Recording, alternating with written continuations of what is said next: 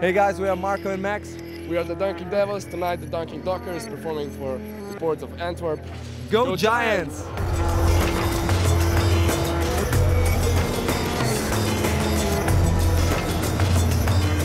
I expected us to come out and play hard like we did, and uh, the result would be the result, but uh, we wanted to give uh, the fans a show and uh, play hard, and that's what we did.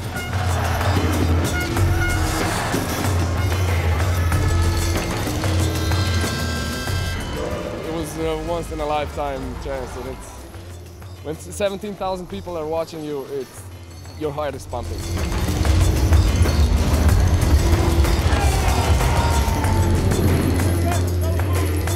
Ik denk eh, dat dat in eh, heel Europa uniek is. De sfeer, ja, het is gewoon super. Je komt hier binnen en dat geeft toch een eh, ongelooflijk gevoel. Uiteraard, eens dat die wedstrijd bezig is, dan ben je geconcentreerd en gefocust op die wedstrijd. Maar je, je voelt toch eh, dat dat publiek aan het meeleven is en eh, ja, dat is gewoon super.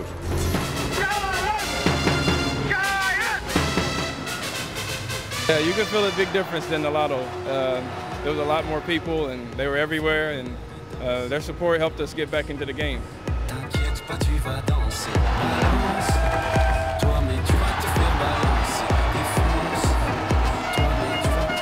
Was uh, one of our favorite events uh, so far. It was uh, such a good atmosphere. We were hoping that the, the, the, the home team will win. We, I actually believe that it's not a chance they lose, but unfortunately, congratulate to them because they, they showed one hell of a game.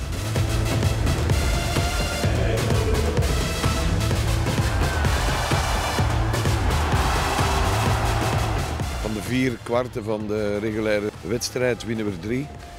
Het eerste lopen we een beetje achter de feiten aan. We laten 28 punten maken, dat is te veel. En in de verlenging, ja, dan is het kantje boordje. En ehm, ja, ehm, het geluk was niet aan onze kant, zal ik zeggen.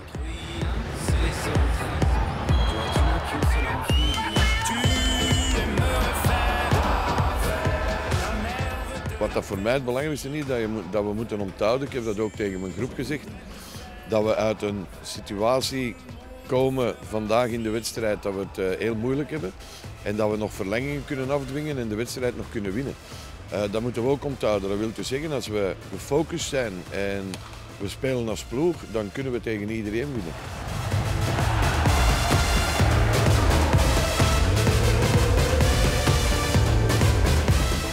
Unfortunately, we didn't win it, but hopefully this will bring more people to come and uh, come out and watch and support the Antwerp Giants.